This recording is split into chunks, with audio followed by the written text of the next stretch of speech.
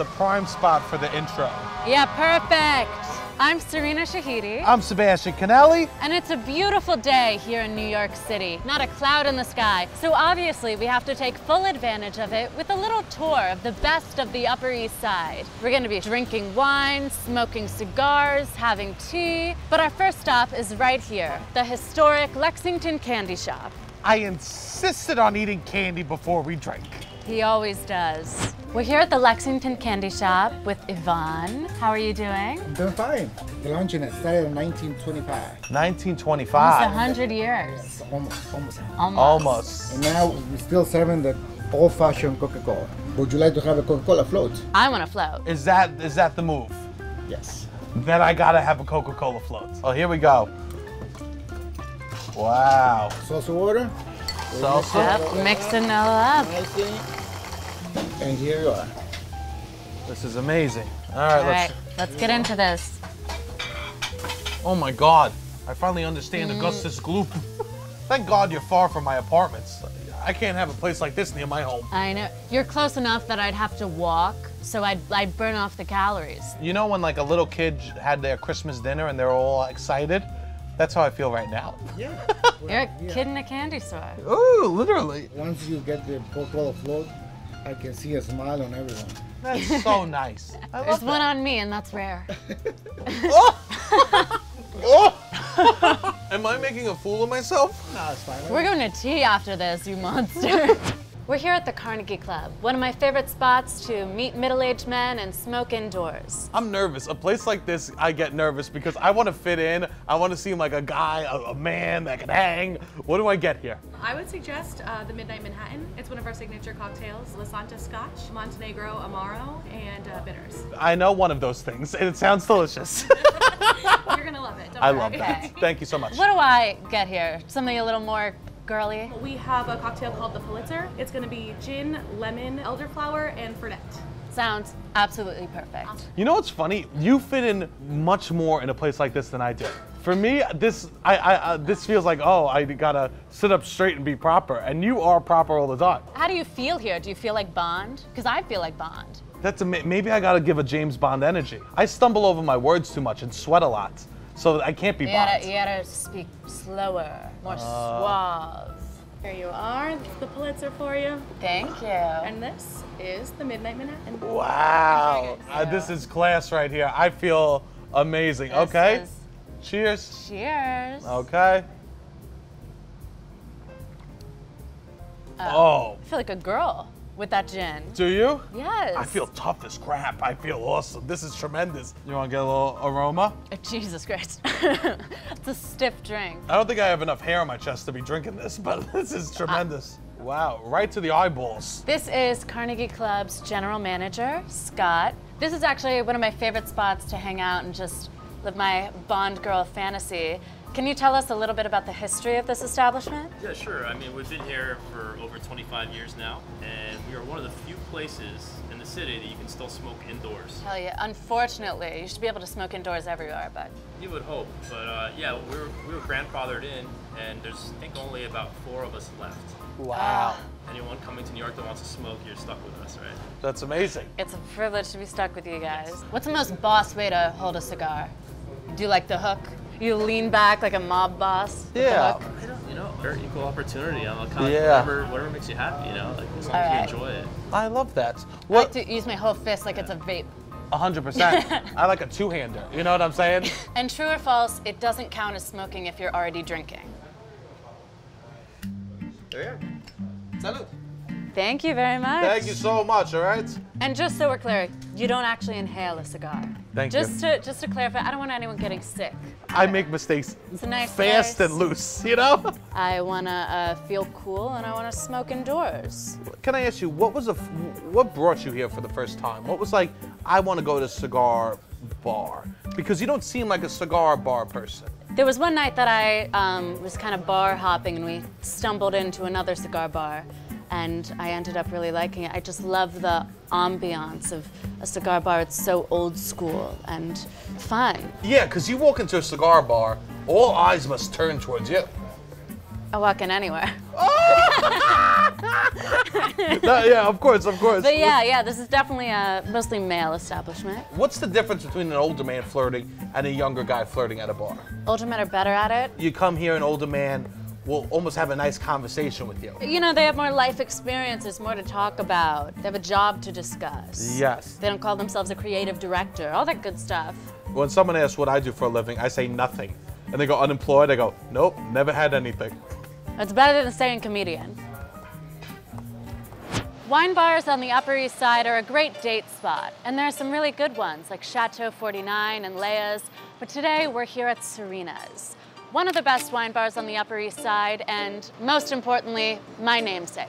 We're gonna go to Sebastian's, but that's just sitting in the park slamming 40s. We're here with the owner, Hassan. Thank you for having us. You're welcome. Thank you for letting me in. I, I don't come to classy places like this. This yeah, is beautiful. Yeah, we didn't think you would let him in. This is for everyone to come. Uh, I'll be on good behavior, sir. Wow, stemware. This only came out during weddings in my family. So I have an excellent uh, white wine. It's from France. It's 100% Sauvignon Blanc grape. It's our bestseller here. What's the wine etiquette? Hold it by the stem. Just grab it and then you just go like this way. Yeah, slowly. So you have to make sure that it opens up its flavor and then you hold on to your nose and then s- slowly. Let's do it. Let's do it. Enjoy it. Absolute class. Tremendous. It's great. Yes, this is Very absolutely refreshing too. very. When you have a wine like this, it's very easy to drink. This wine goes really well with a lot of dishes that we have. For example, you know, charcuterie plates, cheeses. I love a meat and cheese, a charcuterie board. Yes. Oh, Yeah. tremendous. You take a girl out to charcuterie board, she goes, What'd I do right? You know what I mean? I like to show them a good. This is a nice date spot, huh? Hundred percent. Yeah, it's very come romantic. In, really, they come in for one and two, three glasses. Be here like two, three hours. For sure. Wow. Oh. Because a date's about talking. It's about enjoying nice food, talking to each Yeah. other. Now, Yeah. if I come in one girl Thursday, a different girl Friday, are you gonna call me out? No, never. If I come in with two guys at once, is that, do you judge for that or no? We never judge. This is a beautiful ambiance. I feel like it's how New York is like uh, romantic. I didn't want to create something that is very dark. You know, typical wine bars. I just wanted to create Yeah. something very pleasant, very like beautiful. This feels like a place you can like see each other and you can hear each other, Exactly. which is hard to find in a wine Yeah, bar. you know, everyone that comes over here, our mission is just you have to feel comfortable here. And we are here to create really positive energy. That's what we're here. You're making me feel comfortable. We're here outside of King's Carriage Tea House, one of the best tea houses on the Upper East Side, for fancy people like us. Of course, fancy people like us. Pinkies out. Have you done acid? Uh, yes. Nice. And I got scared. Well, I was at an Airbnb in Pennsylvania, and the woman who owned it, she was like, "What's it called when you like paint Jesus all the time?" It's like, I don't know if that's is that a word? When you paint Jesus but all she the just had a ton of paintings Cookie? of Jesus, and I did acid in there. Ah, that's nice. It's always good to take a break from wine and cigar bars and have a different sort of libation. My personal favorite is some late afternoon tea. Oh my God. Oh, beautiful. you think Thank I'm classy so enough to enjoy tea? You look very classy. Look him in the eyes and say it. Amazing. Don't lie to me. Look at you. You have a bow tie. Yeah. I can't believe I'm excited for tea. Here we go. Wow. Okay, so this is our afternoon tea service. This here is oak smoked Scottish salmon, deviled eggs with a shaved radish, goat cheese with fig jam. Down below, your traditional cucumber sandwiches. Everybody must have cucumber sandwiches with their tea. Of course. Your sweets are here. Warm scones with jam and cream. Thank you so much. Where does a man begin? I always like to go with either of these two layers. Uh huh. Finish with the sweets. The cream and jam and the scones have any time. This is All right, amazing. Always appropriate. I'm so excited. Um, great. I'm gonna pour myself a cup of tea. So that's nice and strong, and you can use that with uh, sugar and milk if you wish. I'll have it black. Is that okay? Or Oh, that's perfect. are you English yourself? I'm Or Irish. you're Irish? Yes. Irish. Are you from Ireland or? From Dublin. I've been to Dublin. It's absolutely beautiful. Yeah? I missed tea. I was um drinking beers. Well, when you go to Dublin, that's the main thing. Hmm. You're gonna drink some Guinness. But there were tea, lots of tea houses in Dublin too. I must have missed Your them. You friend missed didn't him. bring you. If you can't tell from my accent, I didn't grow up around a lot of tea houses. Uh, so I'm very excited to be here. This is amazing. This, if you were in Ireland or England, this is what you'd have at mid-afternoon. You know, after Sure. lunch, before Yeah. dinner, and it's more about the conversation than it is about the food. Oh, I love that. To gather around food and drink together. That's when the conversation really starts flowing. That it is. Enjoy. Thank you Thank so you very much. much. This Thank is you. This- I feel very at home. I'll try like whatever this is. Scone, a little butter jelly. Beautiful. Oh, this is just like a tiny bagel. We're here at the auction house, a very cool, very sexy Upper East Side bar, and we're talking to Adam. This is amazing. I love a bar where you can't see my blemishes. Oh my god. Mm. And it- you have beautiful blemishes as well. Shut the hell up, Adam. Look at your smile. Look at those cheeks on there. My goodness. Yes. This is perfect for a date because, like, you want a dimly lit bar because that way it's dimly lit so they can't really see you and you're drinking so they don't really remember it the next morning. Yeah, I think you found our secret. So welcome to the auction. Thank you. It's a secret to this bar and it's a secret to my love life. Oh, this bar is so cool. I've never been to this bar, and it's there's not like many bars that feel like a, just an authentic date bar. This Thank feels you. like that's what it's here for. That's my number one clientele. I have Yes. a lot of dates. It's not that you two are on a date. All three of us are on a date. All right. Progressive. I love that. You think that sometimes when when you're hanging out with people, you're like, I'm part of the dates right now. Yeah, I can make or break the date. I mean, Yeah. they give that awkward hug at first because usually they're meeting for the first time, and then I have to kind of get the ball rolling, and then I have to let it go, like a mm. child going to college. Wow, it's an art. Yeah, You it ever is. witnessed any really bad dates? all the time. Anything else that you want to share about this bar? Anything that makes it stand out? Well, this month we're 30 years old. You come in, you're like, am I in the right place? Is this the, there's no sign outside. What is this? And like when you walk in and you discover this, you're like, wow, this is truly, I think we earned the title a hidden gem.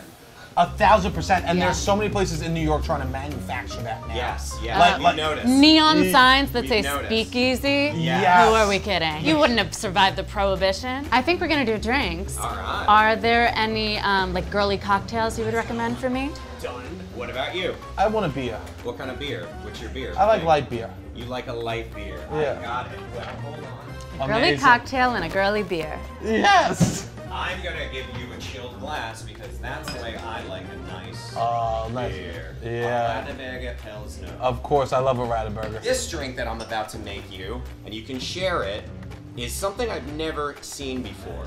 It's Okay. honey bourbon, mezcal, because mezcal is so in right now, and just a tad bit of lime, and you know what? Just a touch of pineapple. Not too much, not too little. We shake Okay, it. I have no idea what this is gonna taste This like. This is called a smoke and honey. Cheers. I love this right to the brim. That's interesting. Yeah. I don't even know how to describe it. I would Do you wanna it- I would try? I'll take a sip. Smoke and honey. You get that. I would also bourbon describe it as smoke and honey. And a little smokiness. Oh, that's great. Yeah, yeah. Fills the mouth up. yeah. I, yeah, I hope it does. Yeah. It's not like a crazy, because I don't uh, usually do dark liquor. well, hold on a second. Okay. Do me a favor. Just order for me. Just say I would like a smoke and honey. Hey, I like a smoking honey. You got one right there. Oh, my god! Wow, that's Every good. time. Oh That's my great. god, that's amazing. I try. I try. This is how you facilitate these dates. I mean, You're- you're uh, how could the matchmaker. day? And if it goes wrong, that's on you guys. And that concludes our little tour of the best of the Upper East Side. Sebastian, how did you like it? How do you like this neighborhood? I'll tell you this, I have never spent a lot of time in the Upper East Side. I'm a different type of New York kid, and this is fun. I went to a lot of places I didn't think I would go, and I had a good time. I thought all these places were really welcoming and kind. A lot of places that I feel confident I could go back. Yeah. And people like me could go there. There you go. If you're sitting at home wearing a, a t-shirt and a chain, just know there are places for you in this world. We're rocking, baby. Hope you enjoyed this video. Thank you for watching. Subscribe for more great New York City content.